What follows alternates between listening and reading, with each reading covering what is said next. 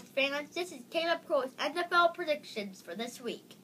Last week I was 2 and 1.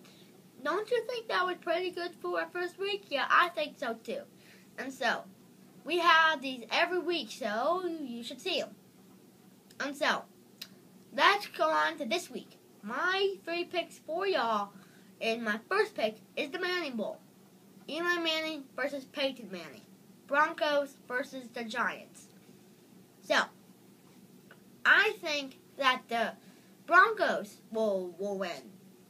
Peyton Manning will beat Eli Manning, so that's what I'm thinking. Because the Broncos have a bunch of good defensive players and offensive players, and they have Peyton Manning, one of the best. But I think that the Giants are at home, so they could still win because they have Eli Manning and some other good wide receivers and defensive guys. And so, that, that, is, that's my first pick. My second pick is what I think is the game of the week. The Seahawks are at home against the 49ers. Wow, amazing game. But I think that the 49ers will, will win at the Seahawks.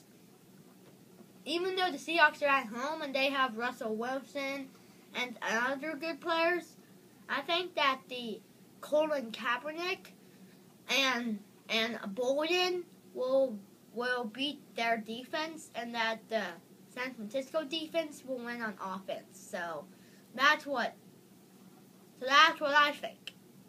And then that that is my second game I picked. And now my third game is um the Texans game versus the Titans game. I know you people, you think that that's not a good game.